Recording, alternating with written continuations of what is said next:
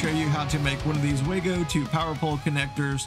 Uh, pretty simple build. Um, basically you're just going to be using uh, about a uh, one and three quarter inch piece of enameled copper wire. This is uh, 14 gauge I believe. And that'll work just fine for the Wago 221s that I'm using. They'll accept anywhere between uh, 12 to 18 gauge and you want at least 11 millimeters of uh, your exposed wire in here. Um, that's that's that's the optimal length. You don't want any uh, any less than 11 millimeters. And uh, basically, so the components you'll need is some good 4 to 1 heat shrink, uh, 4 to 1 shrink ratio.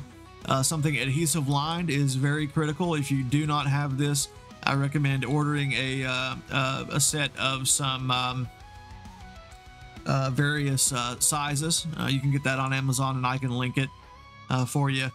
So we got our heat shrink, we've got our magnet wire here, co enameled copper magnet wire. We've got our power pole housings. Now these are non-OEM power pole housings and I'm only using them for this demonstration um, because these are not a permanent uh, solution. You could use them as a permanent solution, uh, but if you did, I would suggest using OEM power poles. Do not skimp on something that's going to be in your shack. Um, these have been fine so far in my testing, uh, but I do not recommend them. Uh, I just can't, in uh, good faith, say that these are going to last and hold up like an original uh, power pole. I'm using a WEN rotary tool, and you don't have to, to go this far. You can use sandpaper, a file, whatever you got, a bench grinder. Uh, you just don't want to remove a whole lot of the metal here. That's the key. Um, we want to expose, we're going to crimp our power pole side first. Uh, and we're going to crimp and solder. I always crimp and solder, especially on these cheaper connectors. Um, but uh, yeah, we'll use the WEN rotary tool here and we'll crank this thing up to, to 10,000 RPM and, and, straighten these out, your, your magnet wire. Try to straighten it out as much as you can to where it'll roll you know, you want it to be fairly straight. You don't want it to be kind of all wobbly and zigzagged and all that mess. Anyway, we'll go ahead and get started here. We'll take our rotary tool and we will just start sanding. And it makes pretty quick work of this without removing a whole lot of the metal, which I uh, really appreciate and enjoy, especially making uh, quantity of these. I usually make about uh, five or six of these at a time uh, to hand out or give to fellow hams and friends uh, that use uh, solar and ham radio and all that kind of jazz. But anyway, just be sure you've got this this uh, bare wire exposed. You'll see some real shiny, pretty copper there. And it uh, that side looks pretty good to me, and that's about 11 millimeters, uh, which is probably a little long for your power pole housing uh, but just eyeball it.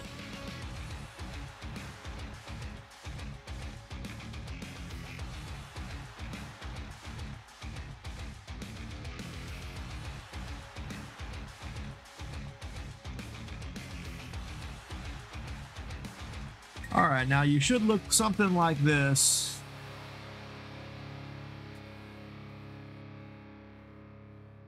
And what I like to do is I like to take a little bit of uh, a little bit of liquid flux. We'll do one at a time here. Go ahead and grab your power pole connector. Get that in place, and you can see that's that's pretty decent as far as the length we ground down.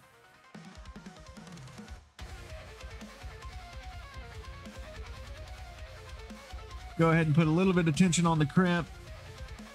Grab our wire, We'll go ahead and put it in and give it some tension. And there we go. So that is perfectly crimped. Go ahead and straighten that out. Make sure that looks totally straight. And it does.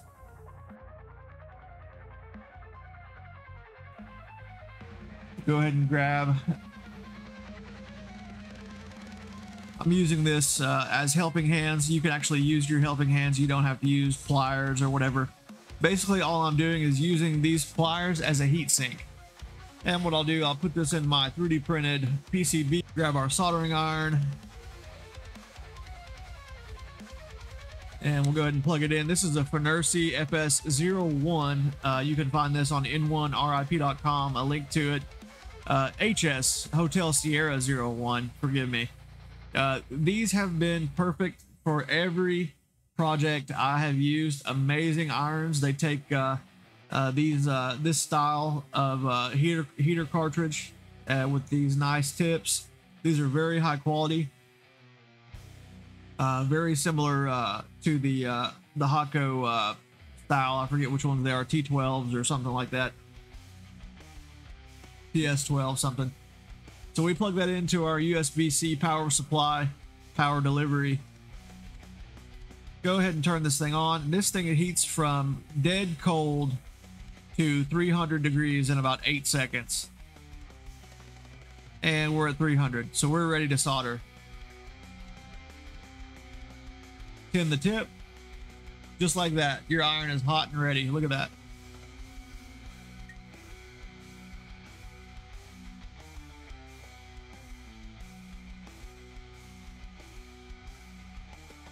All right, one down. So we'll put our iron over there on the stand.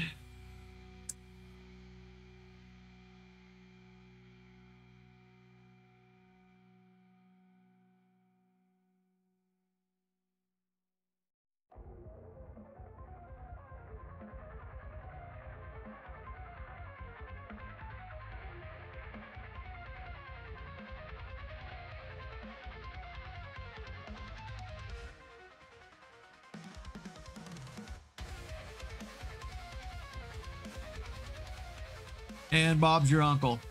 So now we can take one of our housings and go ahead and connect it. Here's our negative.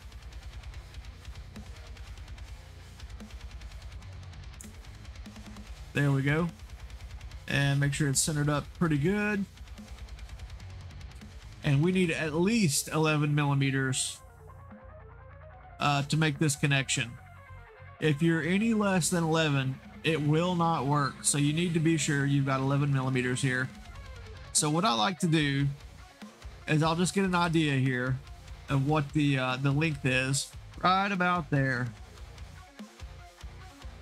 and cut on the outside of your mark because we're just doing some testing here cut on the outside of your mark open up your Wago stick it in make sure it looks good and that looks good you can actually see the magnet wire right there. And let's just go ahead and press these two together, keep keep pressure on it, and close the Wago. And you just want to make sure that, that that's stuck on there pretty good, and that is perfect. As is, this will not work because of the enamel coating on this wire. If you're using solid copper wire with no enamel, that that's all you have to do right there. You can, that's your connection. But since we're using this, we're going to have to sand this coating off uh, to be able to be sure that this actually makes a, a good connection. About 11 millimeters.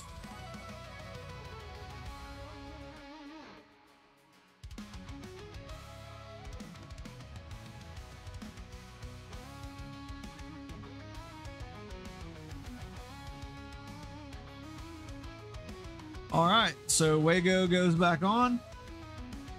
And now you want your connector housing facing up your power pole, you know, like that orientation. Wago. Press them on, press them together as tightly as you can.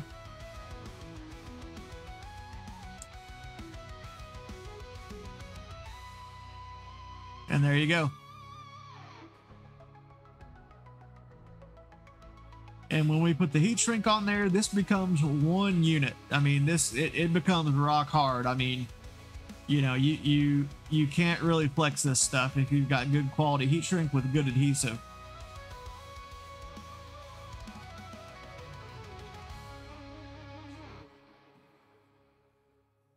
All right, so that side's done, and we will go ahead and let's use this as a template here. So we'll mark it about right there.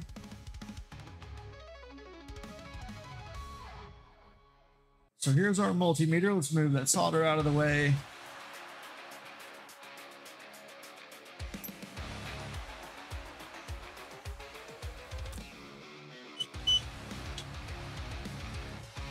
All right, so now we're gonna set this to continuity.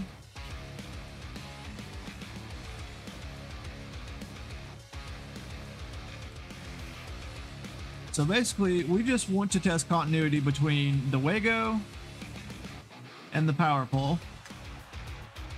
And we've got it. As you can see on the multimeter there, and you probably won't hear the beeps because of the uh, audio. Cut it as straight as you can. Factory edge on the power pole side.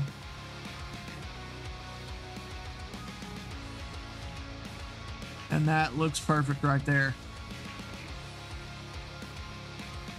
Yep, that'll be perfect once we heat shrink it. Once we put the heat to it. Line that up to where you're directly on the line, factory edge on the on the line there. And then what I like to do is I'll take some pliers. These are the Doyle tweezer tweezer tip pliers from Harbor Freight, and these are the most used pliers on my bench.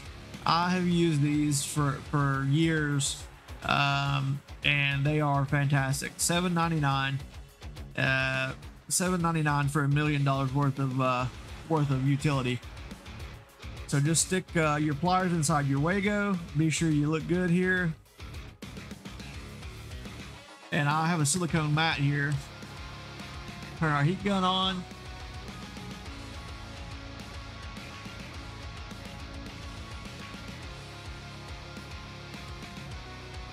And now this is going to be hot. And do not touch that adhesive because it will burn the shit out of you. And that's essentially all there is to it. I mean, literally, that's it. Nothing to it. Very easy. Don't buy these online. Build them yourself. Save some money. It's a fun project. Uh, if you've got kids or anybody new to soldering uh, or anything like that or electronics projects, this is a very easy one to get them involved with and that they can see the utility of right away uh, if you've got like an external radio to power uh, or something like that. Uh, but anyway, that's it. You're you're ready to rock. I mean, you can even use these, you know, in series to, to connect two two wired things together. You know, to uh, to expose the positive and negatives. Uh, just be sure to check your polarity uh, you know, that's that's the big thing with Wagos. That's it. Enjoy.